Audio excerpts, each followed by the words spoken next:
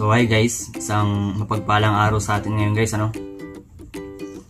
So sa video na to guys is hingi lang ako ng advice sa mga batikang YouTuber dyan guys kasi matindi kasi ang pinagdaanan ng channel ko na to guys. Ang problema ko ngayon guys is about sa pin number. Four times na akong nakapag-request ng pin number. Nag-fill up na ako ngayon guys sa Google AdSense ko pero nag-send ako ng dalawang ID. So yung ID ko na yun guys is ang gamit ko is TIN number at saka yung employee ID ko.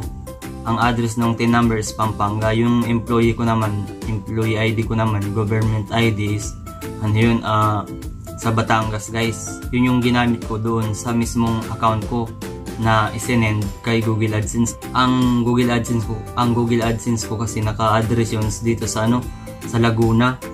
So yung dito ko sa Laguna in-address para pag sinend ni Google AdSense yung pin number ko guys is dito ko na marireceive. So ngayon nag nag ano ulit ako guys, nag-resend ulit ako guys, nag-fill up ulit ako. Pa-fill up ko ulit guys, nag-send ulit ako. Uh, first nung first send ko sa kanya yung dalawang valid ID ko na ginamit is yun nga yung may third party. So nag ang ginamit kong pangalawang ID is yung passport ko na guys. So ngayon guys, hanggang ngayon uh, pang 3 days na ngayon guys, sinin ko yung passport ID ko. So hindi, hindi wala pang ano, wala pang feedback si ano si Google AdSense sa sinin ko na yon. So ngayon nagugulan ako kasi kailangan kasi ngayon guys makumpleto ko pati yung payment method So yung payment method kasi ngayon guys is bawal na ngayon yung ano eh. Hindi na required ni YouTube yung ano, yung Western Union para sa para ma-claim mo yung sahod mo sa mismong YouTube.